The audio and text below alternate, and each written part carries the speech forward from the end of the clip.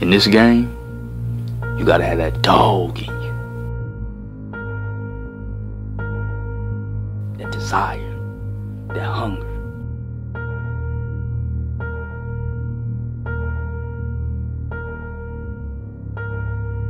That non-stop will to win. If you look at all the greats, Deion, Jerry, Walter, all of them, they all got that dog in them.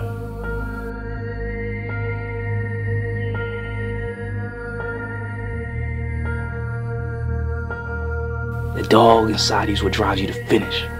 That dog drives you to dominate your opponent. When it's one-on-one in the hole, when it's one-on-one and the ball is in the air, that dog makes the play. Because in this game, the bigger dog wins. I'm not talking about size. I'm talking about the man with more heart. The man with more will.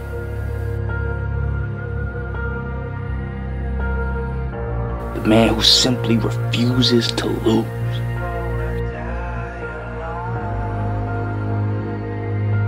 I promise you, I promise you, that dog ain't in you.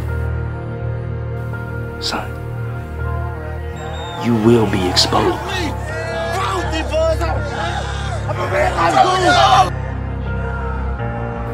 If you ain't got that dog in you, get out the gym.